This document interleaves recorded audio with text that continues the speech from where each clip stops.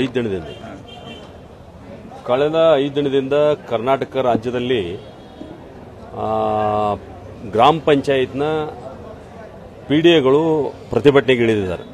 ಹಲವಾರು ಬಾರಿ ಸರ್ಕಾರಕ್ಕೆ ಈ ಬಗ್ಗೆ ಮನವಿಯನ್ನು ಸಲ್ಲಿಸಿದರೂ ಕೂಡ ಸರ್ಕಾರ ಅದರ ಬಗ್ಗೆ ಯಾವುದೇ ಗಂಭೀರ ಚಿಂತನೆಯನ್ನು ಮಾಡಿಲ್ಲ.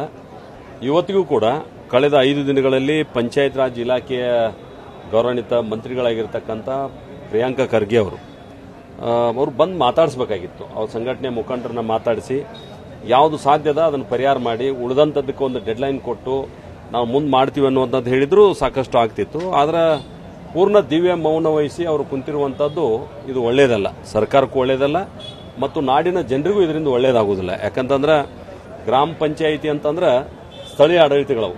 ಯಾವ ರೀತಿ ಸರ್ಕಾರದೊಳಗೆ ಮುಖ್ಯ ಕಾರ್ಯದರ್ಶಿ ಹುದ್ದೆ ಇರ್ತದೆ, ಹಂಗೆ ಗ್ರಾಮ ಪಂಚಾಯಿತಿ ಒಳಗೂ ಕೂಡ ಪಿ ಡಿ ಒ ಅಂದ್ರೆ ಮುಖ್ಯ ಕಾರ್ಯದರ್ಶಿನವರು.